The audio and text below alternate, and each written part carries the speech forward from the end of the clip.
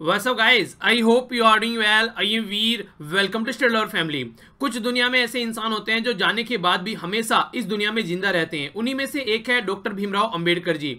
एक ऐसा डॉक्यूमेंट तैयार करके गए। जब अंग्रेज़ यहाँ से गए तो उनके द्वारा ये बोला गया था कि ये कंट्री जो है, ये बहुत सारे छोटे छोटे टुकड़े में डिवाइड होने वाली है। पर लेकिन जो डॉक्यूमेंट इन सबके द्वारा मिलकर तैयार किया गया और सबसे बड़ा जो रोल प्ले किया गया, वो किया गया भीमराव अंबेडकर जी के द्वारा। तो ये जो डॉक्यूमेंट निकल के आया, जिसको हम लोग हमारा संविधान बोलते हैं कॉन्स्टिट्यूशन बोलते हैं, वो इतना शानदार डॉक्यूमेंट है कि आज की डेट में भी हमारी कंट्री एक प्रॉपर पैटर्न में उसकी वजह से चल रही है।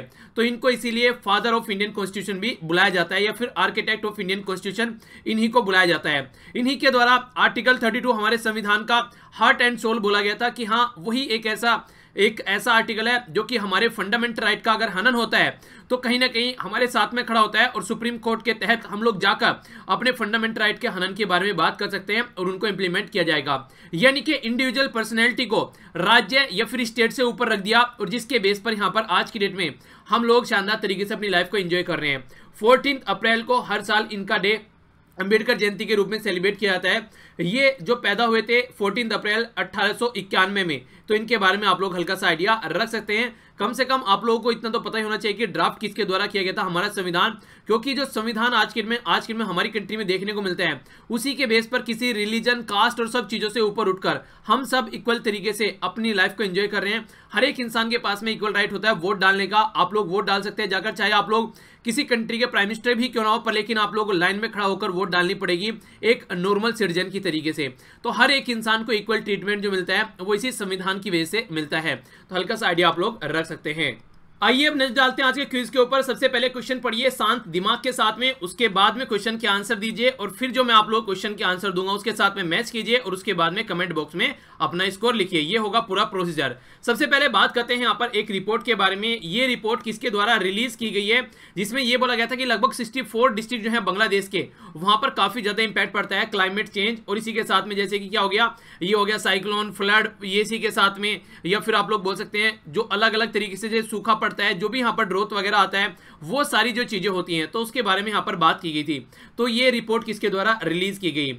यूट्यूब की सीईओ कौन है, जिसके द्वारा ये बोला गया था कि इंडिया जो है वर्ल्ड में सबसे फास्टेस्ट ग्रोइंग यूट्यूब मार्केट है। और ये आप लोगों को इसके बारे में पता होना चाहिए, काफ़ी इंपॉर्टेंट पर्सनैलिटी है। इसी के साथ में किस कंट्री के साइंटिस्ट के द्वारा एक स्मार्टफ़ोन के साइज़ की एक ऐसी डिवाइस बनाएगी, जिसके बेस पर डेंजरस जो मटेरियल होते हैं, यानी कि जो खतरनाक केमिकल होते हैं, उनका पता लगाया जा सकता है बड़ी ही आसानी के साथ में। तो ये किस कंट्री के साइंटिस्ट के द्वारा इजाद की गई थी? इसी के साथ में आप लोगों को बताना है, ये विंग करके एक सर्विस थी जो कि गूगल की पेरेंट कंपनी क्या है उस पेरेंट कंपनी का नाम आप लोगों को बताना है? फ़र्स्ट ऑर्डर डिलीवर किया गया कैनबरा यानी कि ऑस्ट्रेलिया के अंदर। यानी कि अगर आप लोग जैसे कि फ्लिपकार्ट या फिर अमेजन से आप लोग कुछ प्रोडक्ट मंगाते हैं तो कोई इंसान ने लेकर आए ड्रोन उसको लेकर आए। तो ऐसा एक्सपेरिमेंट यहाँ पर करा गया गूगल के द्वारा। जूलियन असांग का नाम कई बार आप लोगों ने सुना है। ऑस्ट्रेलियन बोर्न फाउंडर यहाँ पर एक पर्टिकुलर ऑर्गेनाइजेशन के हैं, जो कि वर्ल्ड में जो भी इंफॉर्मेशन होती है, कुछ ऐसी इंपॉर्टेंट इंफॉर्मेशन इनके द्वारा लीक की जाती है, ताकि जनता को अवेयर किया जा सके। इस पर्सनैलिटी को अभी फ़िलहाल इक्वाडोर की एम्बेसी जो कि यूके के अंदर थी, वहाँ से निकाल दिया गया और अरेस्ट कर लिया गया है। तो किसके फाउंडर हैं, ये आप लोगों को बताने हैं। पाकिस्तान हाई कमिश्नर के द्वारा इशू किए हैं 2200 सिख पिलग्रिम्स के लिए अभी एक फेस्टिवल सेलिब्रेट करने की बात की जा रही है 12 से लेकर इसी 21 अप्रैल तक। तो ये फेस्टिवल कौन सा है, जिसके लिए यहाँ पर हमारी कंट्री के लिए वीज़ा इशू किए गए हैं और कहीं ना कहीं एक तरीके से रिलेशन को अच्छा करने की डायरेक्शन में भी स्टेप उठाए गए हैं। इंद्रावती नेशनल पार्क लोकेटेड है बीजापुर डिस्ट्रिक्ट तो बीजापुर डिस्ट्रिक्ट कौन से राज्य में लोकेटेड है, ये आप लोगों को बताना है। आइए अब नज़र डालते हैं आंसर के ऊपर, जो कि आप लोगों को मैच करने हैं, और उसके बाद में कमेंट बॉक्स में अपना स्कोर लिखना है। यूनिसेफ के द्वारा जो रिपोर्ट यहाँ पर डिक्लेयर की गई, ये लगभग 64 डिस्ट्रिक्ट हैं बांग्लादेश के, जहाँ पर बच्चों के ऊपर काफ़ी इंपैक्ट पड़ रहा है क्लाइमेट चेंज का साइक्लोन सूखा बाढ़, ये सब जो कंडीशन बन रही है। तो ये रिपोर्ट यूनिसेफ के द्वारा डिक्लेयर की गई। नेक्स्ट जो यूट्यूब की सीईओ है, उनका नाम है सुजैन वोसिस्की जिनके द्वारा कंफर्म किया गया कि इंडिया में काफ़ी लार्ज स्केल पर हमारी कंट्री फास्टेस्ट ग्रोइंग कंट्री है यूट्यूब की मार्केट में। और 85 परसेंट जो डेटा है आज के में हमारे फ़ोन का, वो हम लोग नॉर्मली यूट्यूब के ऊपर ही खर्च करते हैं। यूएसए के साइंटिस्ट के द्वारा बोला गया था कि ये काफ़ी खतरनाक जो केमिकल होते हैं, उनके बारे में उनका पता लगाने की बात यहाँ पर की गई थी। तो इसके बारे में आप लोग आइडिया रख सकते हैं। इसी के द्वारा जो गूगल की पेरेंट कंपनी है, उसका नाम है अल्फ़ाबेट इसके द्वारा एक विंग सर्विस स्टार्ट की गई है, जो कि फ़र्स्ट टाइम यहाँ पर अभी, ये अभी स्टार्ट की गई है और चेक की गई है कैनबरा ऑस्ट्रेलिया में कैसे कोई ड्रोन किसी पर्टिकुलर डिलीवरी सिस्टम को किसी पर्टिकुलर इंसान तक पहुँचा सकता है। विकलिक्स के फाउंडर हैं, ये जूलियन निशांक इनका नाम आप लोग याद रखते हैं। इसी के साथ में बैसाखी, त्यौहार को सेलिब्रेट करने के लिए हमारी कंट्री के सिटीजन को पाकिस्तान के द्वारा दिया गया यहाँ पर ये वीज़ा ये भी आरिया रख सकते हैं। छत्तीसगढ़ में है ये इंद्रावती नेशनल पार्क तो इसके बारे में आइडिया आप लोगों को होना चाहिए। आइए आगे बढ़ते हैं। नज़र डालते हैं इंपोर्टेंट शॉर्ट न्यूज़ यानी कि छोटी छोटी मगर मोटी बातें। सबसे पहली जो न्यूज़ है आप लोगों के सामने, ये बात की जा रही है हमारी कंट्री में जो आसाम राइफल है, उसके बारे में। अभी रिसेंटली एक स्टेप उठाया गया गवर्नमेंट के द्वारा वो ये चाहती है कि जो आसाम राइफल है, वो होम मिनिस्ट्री और आज के डे में डिफेंस मिनिस्ट्री दोनों के अंडर में आती है। उसको यहाँ से निकालकर ओनली डिफेंस मिनिस्ट्री के अंडर में डाल दिया जाए। तो इसी के चलते दिल्ली हाईकोर्ट में एक पिटिशन गई और इसके चलते दिल्ली हाईकोर्ट ने रेस्पॉन्स मांगा है गवर्नमेंट से कि ऐसा क्यों किया जा रहा है। तो अभी जो कंडीशन है यहाँ पर यह है कि किस तरीके से यहाँ पर दोनों मिनिस्ट्री के अंडर से हटाकर इसको एक मिनिस्ट्री के अंडर में लाया जाए ताकि डायरेक्शन क्लियर हो सके। आप लोग समझ सकते हैं कि अगर दो बोस हो किसी कंपनी में तो क्या होगा? एक बोलेगा, इधर को चलो, दूसरा बोलेगा, उधर को चलो। तो उसकी वजह से काफ़ी कंफ्यूजन देखने को मिलता है। तो जो एक्स सर्विस मैन है, उनके द्वारा यहाँ पर ex service man welfare association ये बोला गया कि एक ही मिनिस्ट्री के अंडर में रखो और वो है डिफेंस मिनिस्ट्री तो ये काफ़ी पॉजिटिव स्टेटमेंट है, देखते हैं क्या कंडीशन आगे निकल कर आती है। आगे बात करते हैं आप इंटरनेशनल स्पेस स्टेशन के बारे में। ये दो जुड़वा भाई थे। एक जुड़वा भाई में से, एक जुड़वा भाई में से एक को स्पेस में ले जाया गया और लगभग एक साल तक वहाँ पर उसको रखा गया। दूसरा पृथ्वी पर था। ले जाने का बेसिक पर्पज ये था कि अगर स्पेस में इंसान रहता है तो उसके डीएनए में क्या चेंज आता है? और दोनों को यहाँ पर चेक किया गया कि क्या डीएनए में यहाँ पर चेंजेज आया तो इसमें कोई खासा चेंज यहाँ पर देखने को मिला नहीं। यानी कहने का मतलब ये अगर स्पेस में इंसान रहता है तो वहाँ पर उसके, उस पर ज़्यादा इंपैक्ट नहीं पड़ता है। नॉर्मली इतने लंबे समय तक अभी कोई रहा नहीं था वहाँ पर। अभी एक साल तक का ये टाइम पीरियड देखने के बाद में। अब यहाँ पर आने वाले टाइम में जो इंटरनेशनल स्पेस स्टेशन है, उस पर और ज़्यादा रिसर्च और स्टडी की जाएगी, ताकि और ज़्यादा चीज़ों के बारे में इन्फॉर्मेशन पता लगाई जा सके। तो ये एक स्टडी की गई है। यहाँ पर, जो कि आप लोगों के सामने इंपॉर्टेंट स्टडी है, इसका हल्का सा आइडिया रख सकते हैं। नेक्स्ट यहाँ पर बात करते हैं एक काफ़ी डेडली डिज़ीज़ के बारे में, एक काफ़ी खतरनाक सिचुएशन क्रिएट हो रही है। लगभग 90 जो स्पीसीज हैं, इसकी वजह से वाइप आउट हो चुकी हैं, यानी कि धरती पे से समाप्त हो चुकी हैं। ये एक ऐसी डिज़ीज़ है जो कि स्किन के ऊपर इंपैक्ट डालती है और मैक्सिमम जो पानी में रहने वाले जानवर हैं और खासकर जो वैसे भी कई सारे जानवर हैं, अगर आप लोग देखेंगे, खासकर फोकस दिया जा रहा है एम्फीवियन के ऊपर। यानी कि जो दोनों जगह पाए जाते हैं, ज़मीन पर भी पाए जाते हैं और पानी में भी पाए जाते हैं। ऐसी लगभग 90 स्पीसीज वाइप आउट हो गई है एक डिज़ीज़ की वजह से।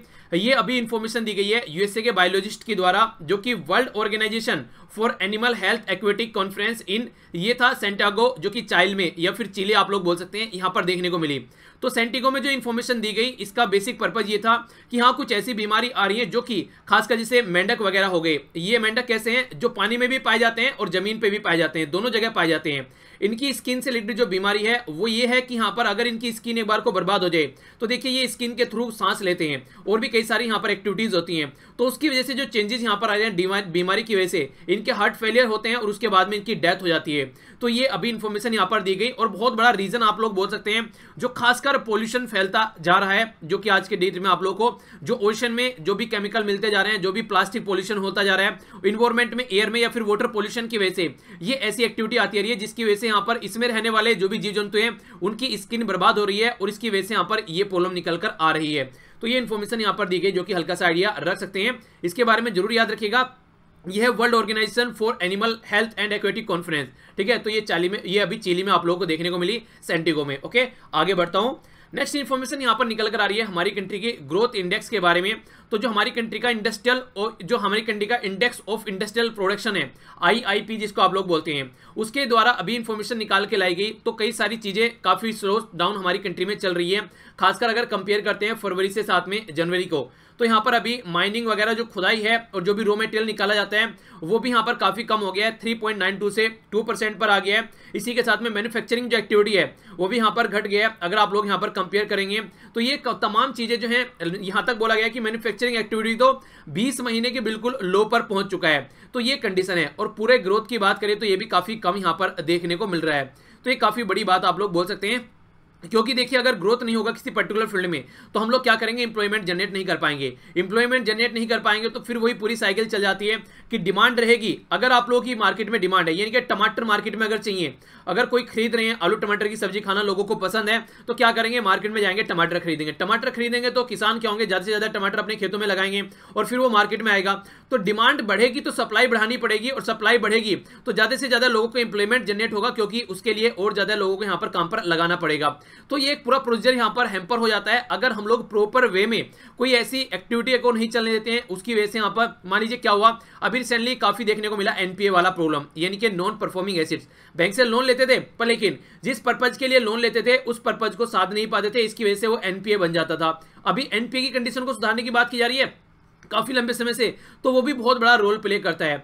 बाकी डिमांड एंड सप्लाई मैंने आप लोगों को बताई थी। इंटरनेशनल क्या इंपैक्ट डालता है, वो भी लार्ज स्केल पर इंपैक्ट डालता है। अगर अवेलेबल नहीं है आज की डेट में। इंटरनेशनल में ढंग से अगर कोई एक्टिविटी आ रही है, जैसे डॉलर का प्राइस घट रहा है, बढ़ रहा है उसके हमारी जो करेंसी है, उसके कंपेयर में ऑयल प्राइस क्या ऊपर नीचे जा रहा है तो ये भी तमाम चीज़ें इंपैक्ट डालती हैं और मानसून का काफ़ी बड़ा इंपैक्ट यहाँ पर होता है। तो बहुत सारी ऐसी चीज़ें जो हमारी जो हमारी कंट्री की इकोनॉमी पे लार्ज स्केल पर इंपैक्ट डालती है। आगे बढ़ते हैं यहाँ पर, ये काफ़ी इंपॉर्टेंट न्यूज़ आप लोग देखते हैं। इसमें बात की जा रही है इंडिया और यूएसए के रिलेशन के बारे में। देखिए, एक तरीके से अगर माने, यूएसए की काफ़ी साइड में आज के डेट में हम लोग टिल्टेड हो चुके हैं, यानी कि यूएसए काफ़ी पास में हम लोग जा चुके हैं, जब से मोदी जी यहाँ पर आए हैं एज कंपेयर टू पहले के कंपेयर में। इसी के साथ में आज के डेट में काफ़ी कुछ हम लोग लार्ज स्केल पर एक्सपोर्ट लार्ज स्केल मटेरियल वगैरह खरीद रहे हैं यूएसए से, खासकर अगर अपने डिफेंस की अगर हम लोग बात करते हैं तो। इसीलिए आज की डेट में यूएसए में रिसेंटली अभी री इंट्रोड्यूस किया गया है यहाँ पर एक import legislation House of Representative में यूएसए के अंदर। इसमें इंडिया को स्ट्रेटेजिक पार्टनर माना गया है और कहीं ना कहीं बिल्कुल इंडिया को ऐसे देख रहे हैं जैसे इनके नेटो का मेंबर हो। ये एक तरीका डिफेंस ऑर्गेनाइजेशन है।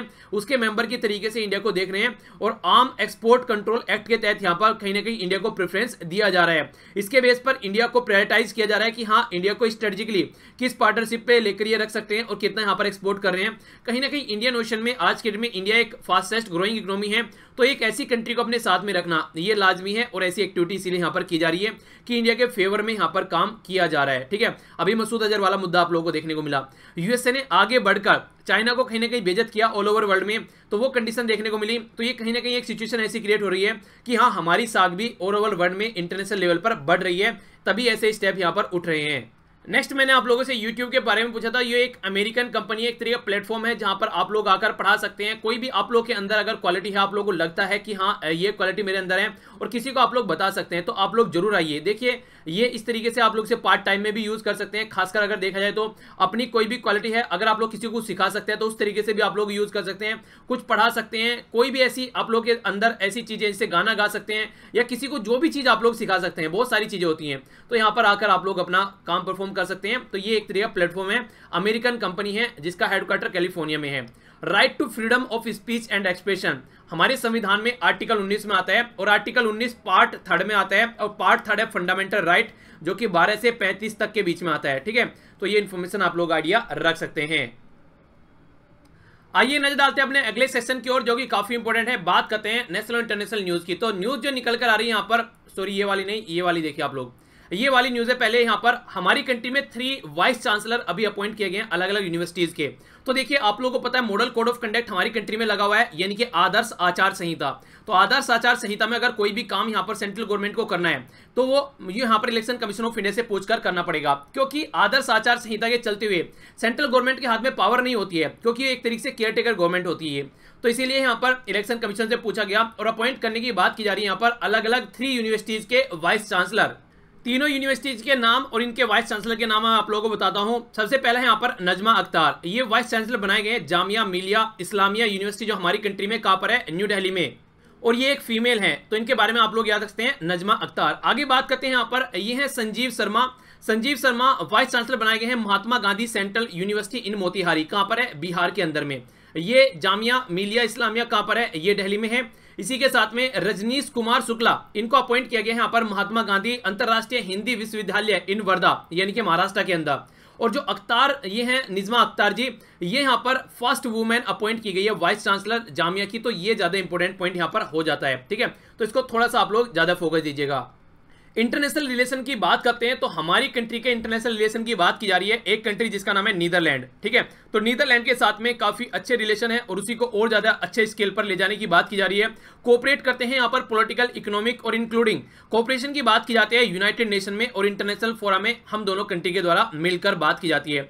दोनों कंट्री के द्वारा अभी फॉरन ऑफ़िस कंसल्टेशन अभी न्यू दिल्ली में अभी देखने को मिला और इसी के साथ में जो भी यहाँ पर बायोलेटर रिलेशन है पॉलिटिकल इकोनॉमिक कमर्शियल साइंटिफिक या फिर कल्चर उनको और लार्ज स्केल पर आगे बढ़ाने की बात की जा रही है। इंडिया यहाँ पर वेलकम किया जा रहा है पार्टिसिपेट करने के लिए। नीदरलैंड में एज ए पार्टनर कंट्री जो कि ट्वेंटी फिफ्थ यहाँ पर C I D S T ये टैक्स सबमिट होने वाली है, जो कि अभी आप लोगों को देखने को मिलेगी न्यू दिल्ली में अक्टूबर में, इसी साल में। तो इंडिया यहाँ पर वेलकम कर रहा है किसको? नीदरलैंड को। दोनों पार्टनर कंट्री यहाँ पर मिलकर देखने को मिलेगा। और ये इसका ट्वेंटी फिफ्थ एडिशन है। तो इस तरीके से यहाँ पर इनके रिलेशन के बारे में हल्का सा आइडिया रख सकते हैं। आगे चलता हूँ। आगे बात करते हैं अफ़गानिस्तान के बारे में। अफ़गानिस्तान से रिलेटेड जो न्यूज़ है, यहाँ पर आप लोगों को पता है, तालिबान का काफ़ी दबदबा है, खासकर गाँव वाले एरिया में। यानी कि वो एरिया जो खासकर ट्राइबल कम्युनिटी का एरिया है और जहाँ पर खासकर जो लोग हैं, वो उनकी जो रोजी रोटी है, वो इसी तरीके एक्टिविटी में रहती है, जैसे खेती वगैरह, ये सब चीज़ें तो उसमें देखने को मिलती है। तो वो एरिया तालिबान के काफ़ी लार्ज स्केल पर कंट्रोल में है। और आज के डेट में कई सारी पावर भी अफ़गानिस्तान में देखने को मिलती है। तो अभी रिसेंटली यहाँ पर यूएसए ने अफ़गानिस्तान को छोड़ने की बात की थी। पहले तालिबान के साथ में बात की थी, अभी अफ़गानिस्तान की जो फोर्सेज है उनके साथ में बात कर रहे हैं। तो तालिबानी है, उनके द्वारा ऑपरेशन फतेह स्टार्ट किया गया है। इसका मतलब है विक्ट्री कहने का मतलब यहाँ पर यह जो भी बाहर के लोग यहाँ पर हैं, उनको सबको यहाँ पर भगाया जाएगा निकालकर और अपनी कंट्री को वो चाहते हैं कि अपनी कंट्री इनके हिसाब से चले और वो क्लीन रहे और किसी भी बाहर के जो कंट्री के जो लोग हैं, उनके हिसाब से न चले तो यही बात यहाँ पर की जा रही है।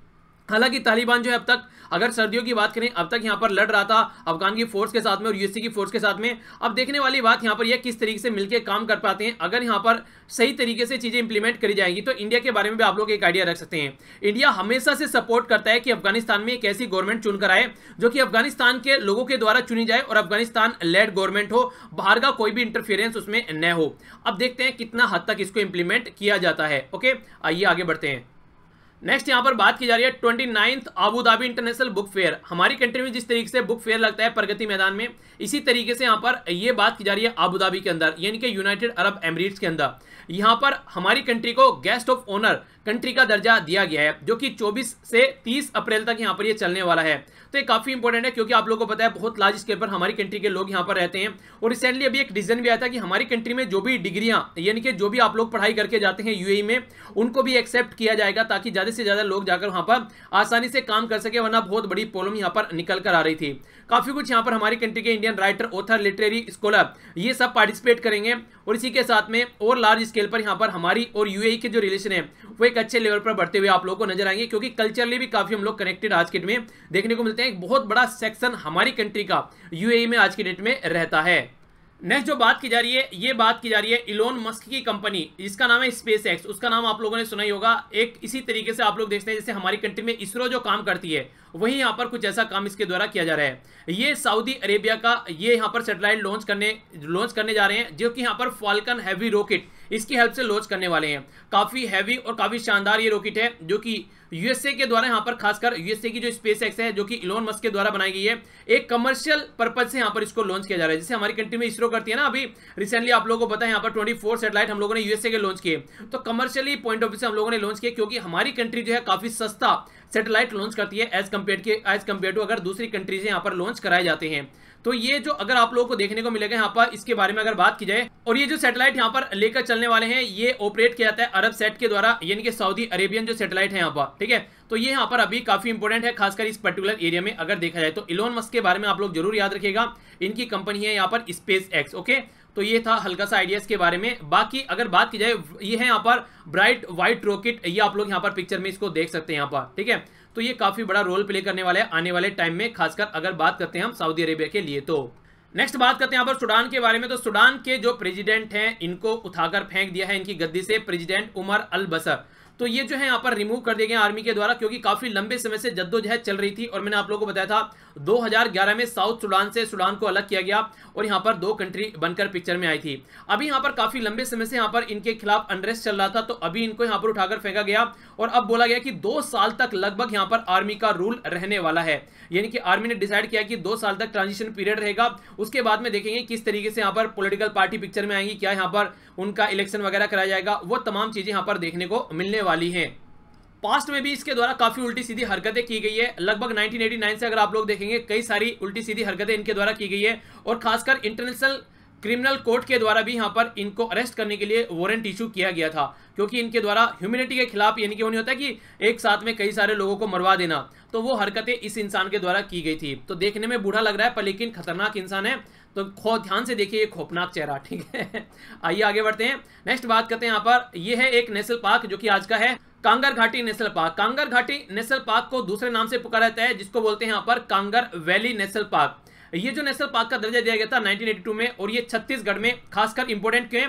क्योंकि बस्तर रीजन बस्तर रीजन वही रीजन है जहाँ पर रिसेंटली अभी यहाँ पर एमएलए और हमारी कंट्री के चार जवान भी अभी शहीद हुए हैं, और ये काफ़ी लार्ज स्केल पर एक मॉइस्ट अफेक्टेड एरिया है। तो अगर कोई पर्टिकुलर एरिया न्यूज़ में है तो उससे क्वेश्चन बनने के चांसेस काफ़ी ज़्यादा होते हैं। तो ये बस्तर हिल खासकर आप लोग यहाँ पर याद रखेगा ये सी के नाम पर यहाँ पर स्टेट बर्ड सेंचुरी भी है, ठीक है? तो इसके बारे में आप लोगों को हल्का सा आइडिया होना चाहिए। तो ये कहाँ पर पड़ता है? छत्तीसगढ़ के अंदर। यहाँ पर अगर बात करें तो ये मैना आप लोगों को देखने को मिलती है, जो कि बस्तर हिल मैना के नाम से इसको पुकारा जाता है। बस्तर हिल मैना और बर्ड सेंचुरी जो काफ़ी इंपोर्टेंट है यहाँ पर बायोडाइवर्सिटी लार्ज स्केल पर देखने को मिलती है। वाटरफॉल वाटरफॉल वगैरह भी आप लोगों को यहाँ पर देखने को मिलेंगे। तो लार्ज स्केल पर काफ़ी इंपोर्टेंट है, ये इसकी लोकेशन हो गई। आइए आगे बढ़ते हैं। आगे जो आप लोग का आज पॉलिटिकल रिविजन है, ये जाकर निहारिएगा इसके बारे में। हमारी कंट्री में रीजनलिज्म कास्टिज्म कम्युनलिज्म और लिंग्विस्टिज्म ये क्या होता है, इनके बारे में डिटेल में ये सारे शब्द समझाए गए हैं आप लोगों को। ये नेशनल इंटीग्रेशन करके हमारी जो पॉलिटी है, उसके अंदर एक चैप्टर है, ये आप लोगों को ज़रूर पता होना चाहिए। और खासकर, जिस तरीके से हमारी कंट्री का माहौल बना हुआ है तो ये लेक्चर काफ़ी इंपॉर्टेंट हो जाता है। नीचे डिस्क्रिप्शन बॉक्स में लिंक प्रोवाइड करा दूँगा, जाकर आप लोग देख लेना। आइए नज़र आते हैं क्या क्या हम लोगों ने डिस्कस किया। इसके बाद में एक क्विज होगा उससे ये पता चलेगा कितना आँखें और कान खोलकर आप लोग लेक्चर को सुनते हैं। सबसे पहले हम लोगों ने जाना भीमराव अंबेडकर जी के बारे में। एक क्विज था आंसर आप लोगों के द्वारा अच्छे तरीके से दिए गए। नेक्स्ट हम लोगों ने जाना यहाँ पर आसाम राइफल के बारे में, क्या यहाँ पर पंगा चल रहा है इसको लेकर। इसके अलावा हम लोगों ने जाना दो भाइयों के बारे में, एक को स्पेस में भेजा, दूसरे को धरती पर और देखा क्या चेंजेस आ रहे हैं, उसका पता लगाया गया। एक डेडली डिज़ीज़ जो कि यहाँ पर खतरनाक तरीके से इंपैक्ट डाल रही है एम्फीबियन यानी कि जो जल और थल पर पाए जाने वाले प्राणी हैं। क्या क्या ग्रोथ रहा और क्या क्या कंडीशन है, वो देखा इंडिया और यूएसए के रिलेशन के बारे में जाना। ये क्वेश्चन के आंसर आप लोगों के द्वारा अच्छे तरीके से दिए गए हैं तो इसी तरीके से पार्टिसिपेट करते रहना है। एक क्वेश्चन है यहाँ पर, ये आई जो आई आई पी है, ये किसके द्वारा यहाँ पर प्रोड्यूस किया जाता है? यानी कि किसके अंडर में ये आता है? ये आप लोग क्वेश्चन का आंसर दीजिए। नेक्स्ट हम लोगों ने बात की यहाँ पर किसके बारे में वाइस चांसलर के बारे में, ठीक है? तो ये इसके बारे में आइडिया होना चाहिए। तीन यूनिवर्सिटी के नए वाइस चांसलर यहाँ पर अपॉइंट किए गए। अच्छा सेंट्रल यूनिवर्सिटी का चांसलर कौन होता है? और यहाँ पर जो स्टेट यूनिवर्सिटी है, उसका चांसलर कौन होता है? ये क्वेश्चन बताइए जरा आप लोग। आगे बढ़ते हैं यहाँ पर। बायोलेटर रिलेशन इंडिया और नीदरलैंड नेक्स्ट हम लोगों ने यहाँ पर जाना किसके बारे में ये बात की जा रही है? तालिबान और अफ़गानिस्तान का जो मुद्दा चल रहा है, उसके बारे में हम लोगों ने समझा। इसी के साथ में नेक्स्ट इन्फॉर्मेशन आप लोगों के सामने थी यहाँ पर twenty ninth Abu Dhabi international international book fair और क्या इंडिया के और आबू धाबी के रिलेशन है, वो तमाम आप लोगों को पता होना चाहिए। कल्चरली भी काफ़ी कनेक्ट है। फॉल्कन हैवी रॉकेट जो कि यहाँ पर अभी लेकर जाने वाला है सऊदी अरेबिया का सेटेलाइट उसके बारे में जाना। नेक्स्ट हम लोगों ने सूडान में जो प्रेजिडेंट की हालत है, वो समझी।